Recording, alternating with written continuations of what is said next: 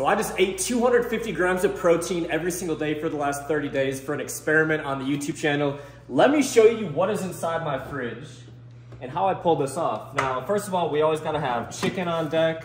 We got salmon, we got steak, but sometimes I just don't have time to cook. So I've actually partnered with Flex Pro Meals this month and they got over 30 macro friendly options. Let me show you a few of my favorites. We got the Southwest Chicken Bowl, 47 grams of protein. Uh, loaded chicken mac, 46 grams of protein, 620 calories. Indie chicken, 46 grams of protein. So I highly recommend Flex Pro Meals to all you guys because it's gonna make it so much easier to stay on track with your fitness goals, save you time and money because with code Troy, you can actually save 40%. So these meals actually come out to less than $7 per meal and they have close to 50 grams of protein. I just went to Panda Express the other day and I had to pay like $12 and my meal only had 45, 50 grams of protein. So highly recommend Flex Pro meals to you guys to save both time and money and make gains.